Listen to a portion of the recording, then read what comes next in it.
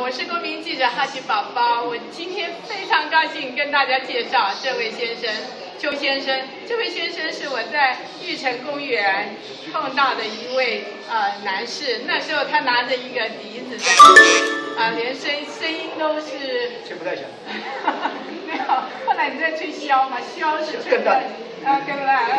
嗯，anyway，我就是看到他那里在吹，然后我我就跟他攀谈啊，问他说你干嘛？他说他想要学，那我就介绍了我们老师给他。我们老师是竹韵啊南港社大跟信义社大的这个呃竹韵箫声教竹竹竹呃笛子跟箫的老师。那我就介绍他给我们的老师，结果你看。多久？四个月，五个月。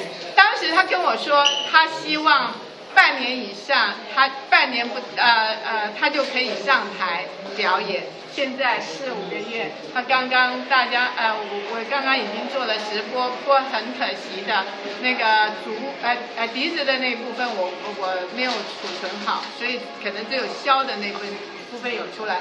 那这位先生就上台了，而且。啊，吹得那么好，你可以告诉我们是怎么样的一个秘诀吗？嗯，老师是说我很认真，那有同学说我是天才，那我是觉得我很努力，呃，我的目的就是要上台，所以我非常认真，就这。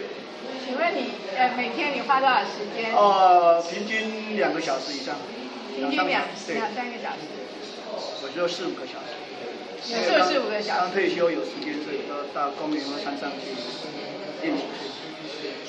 这位先生，你可以告诉我们你以前的职业吗？退休以前。我是在味全工送货，开开车送货，送货。他因为受伤啊，提早退休。他受伤提早退休，我我有一次带我妈妈去那个复健，碰到他在那也在那复健。那我对这位先生实在非常的佩服。然后啊。今天非常恭喜，而且他除了除了在这上面非常有毅力以外，他还是另外一个基金会的啊，可不可以讲一下？义工是。可不可以讲一下那段？那是我太太负责的，肌肉周正病友协会的太太啊，我我是做义工而已，因为刚好有闲，所以就打打杂这样的。他也是在一个呃肌肉。萎缩症病友协会，萎缩症呃病友协会做义工，他也花了多少年的时间？呃，协会是十十多年了，呃，我我想说的是，这位先生他的毅力实在呃实在非常惊人。你看我们的那个呃笛子的那个班是已经两三年了，我们的竹竹呃竹子的。